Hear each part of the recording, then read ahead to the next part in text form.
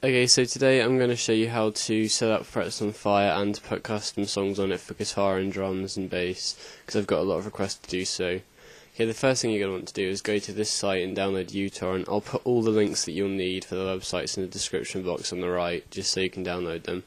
Once you've downloaded uTorrent, you can download the Frets on Fire mod from either here or here, where they're both in the description. And what you do is you just click download and then you click open um, within um, uTorrent, and then it should just automatically queue up for download. Just wait for it to finish, and then you install it. Okay, the next thing you're going to want to do if you want to get custom songs to download is go onto this website, fretsonfire.wiki.com um, forward slash custom songs. I'll post a link in the description. But you must be registered on the forum to download songs. It's free, so don't worry about anything, but you just have to be registered.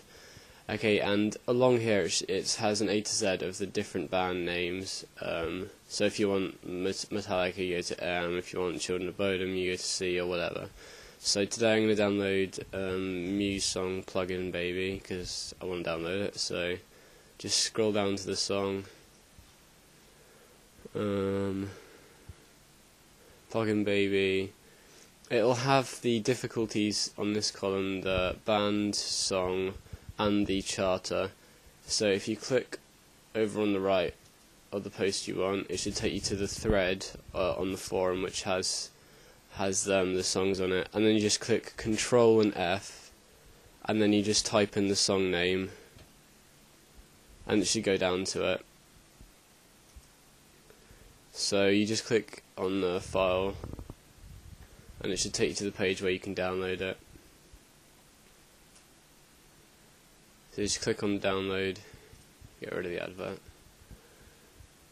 and you go to save file. So I'll just wait for this to download.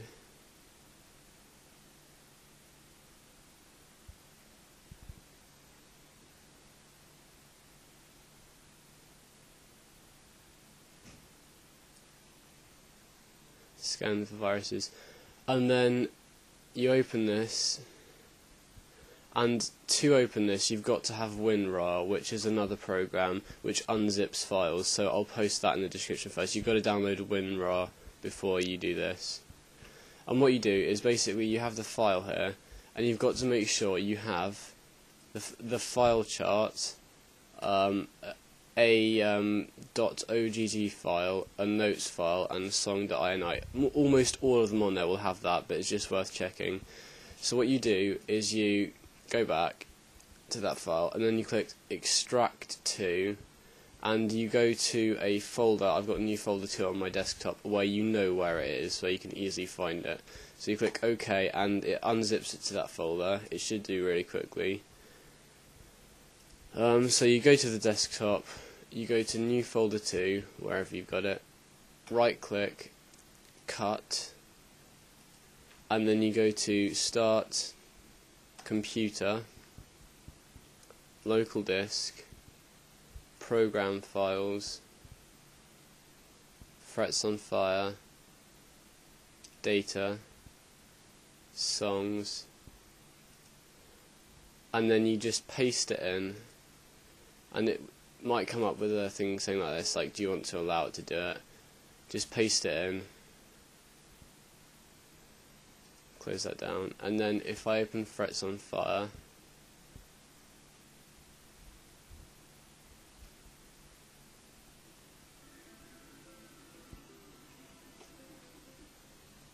Yeah, I've got a different skin on at the moment. Yours probably won't look like this. I'll show you how to change it in a second. Um, just go to where the song is. Plug-in baby. Guitar expert.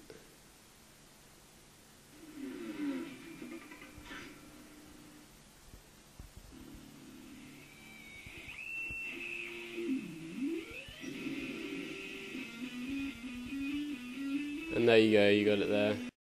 Okay, another thing I've been asked quite a lot is how do you get drum charts and where are they and everything. They will be on this website, the forum. Basically, if you want to get them, like if you're searching for a specific one, I would search the song and then drum, or the song and then drums, or drum chart, or whatever.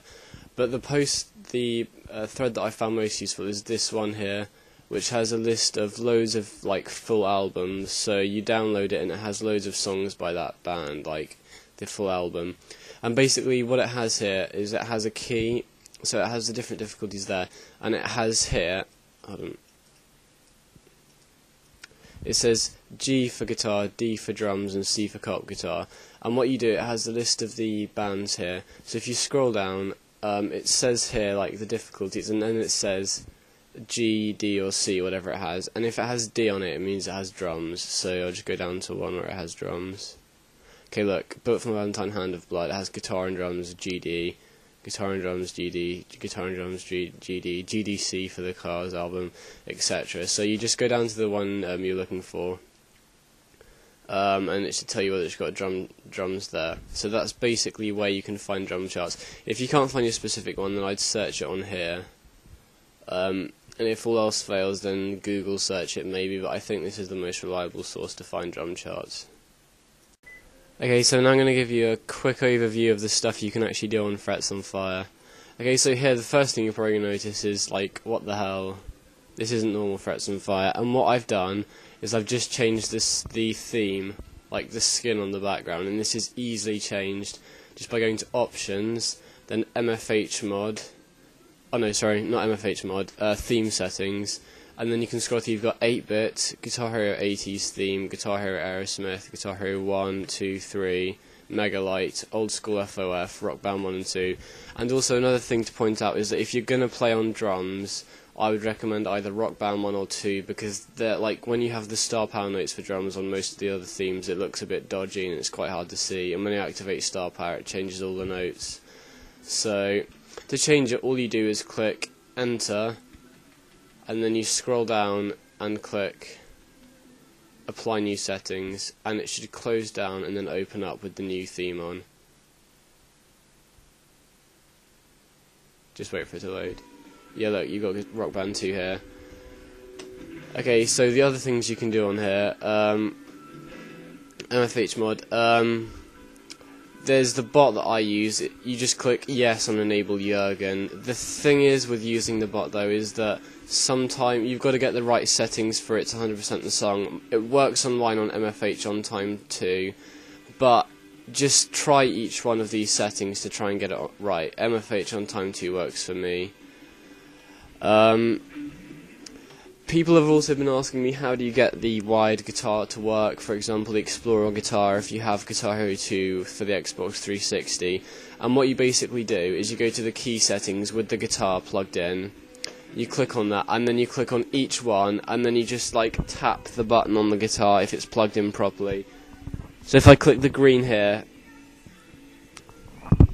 it will say joy number 1A and that's basically that's the um, green button and you do the same if you want to do it on the keyboard. You can change the keyboard keys if anything's not working. You can change the star power and everything. And the same should work for drums if you plug them in so. Okay, um, if you have any other questions to do with this or you're struggling just send me a message or put, uh, post a comment and I'll try and fix it for you as soon as possible. Okay thanks for watching and good luck with this